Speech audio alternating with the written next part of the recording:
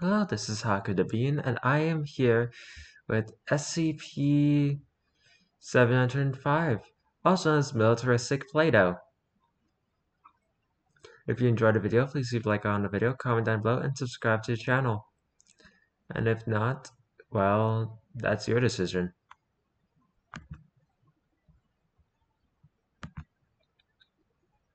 Item number SCP-705 Object Class Safe Special Containment Procedures SCP-705 requires little security detail nor significant clearance access.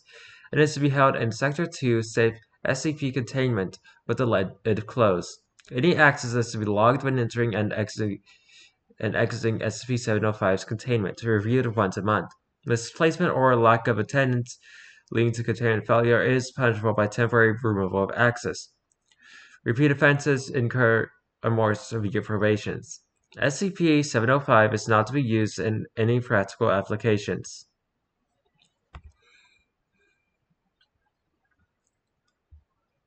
Description SCP-705 is normally contained within a 5-ounce container of children's modeling compound commonly known as Play-Doh. When properly sealed, SCP-705 exhibits no unusual qualities or anomalous behavior. SCP-705 was originally discovered within the Blank Corporation's research labs in Blank as part of an attempt to create a self-modeling product. That mean, the means by which this was accomplished is still unknown, but the results led to the abandonment of the line and the labs themselves. Hmm.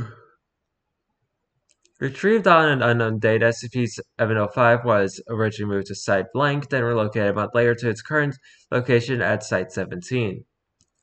When the, lid for, when the lid for the container holding SCP-705 is opened, the soft red material inside will begin to animate. Shapes resembling small humanoid forms will emerge from the clay, slowly at first, but soon numbering in the ends to hundreds.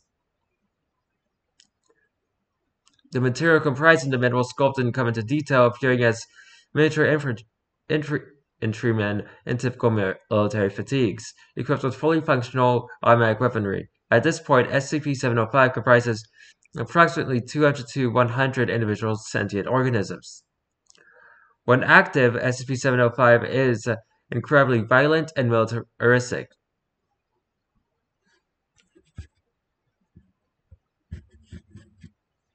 Hmm. Possessing a highly territorial mindset and will do in everything in its power to overtake what perceives to be a strategic location. Within observed environments, this will be perceived as a lab workstation, a break room coffee machine, or a bathroom sink. Due to the weak composition of each SCP-705 organism, none of these threats can be considered significant. It can be diffused with an, any application of force. Unconstrained, SCP-705 is no more than a minor annoyance, although not but for lack of trying. SCP-705 has been observed to be capable of sentient thought, and audio recordings have revealed that they possess understanding of the, of the English language. Over time, the group that comprises SCP-705 will become more complex, with obvious leadership if roles emerging.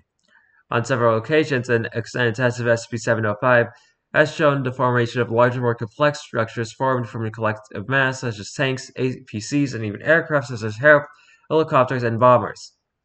It's to be noted that none of these creations are any more effective due to uh, the use of harmless clay ammunition. If SCP-705 comes in, in contact with a similar compound, such as a normal container of Play-Doh, the contacted and material will take on the same qualities as active SCP-705. When of the same color, no differences in behavior are noted, although larger and more complex objects will be observed. If the affected substance is of a different color, however, an entirely new army is created. If left undisturbed, the original SCP-705 organisms and a new opposing army will engage in combat.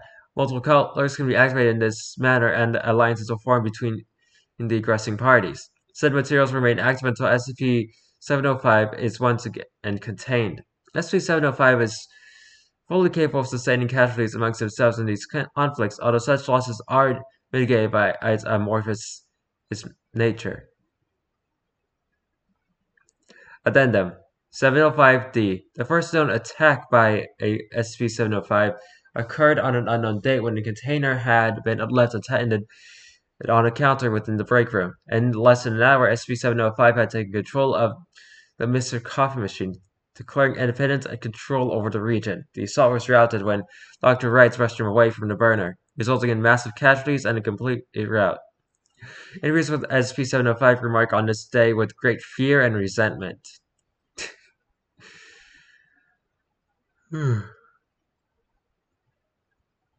Addendum 705F after getting approval from 056, 705 was introduced to SCP-963.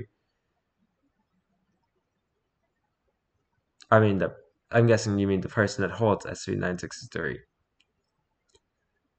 Hmm. At which point 705 sought out the current holder of 963. When contact was made, the soldiers making F705 salute Dr. Bright and stood at ease awaiting orders. Dag, Sponge. So let's save this for when we really need it.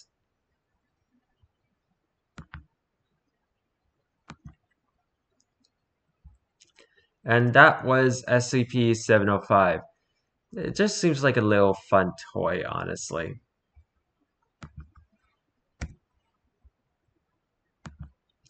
If you enjoyed the video, please leave a like on the video, comment down below, and subscribe to the channel.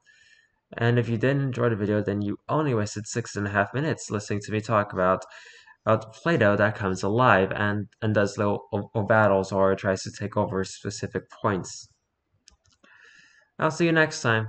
Goodbye.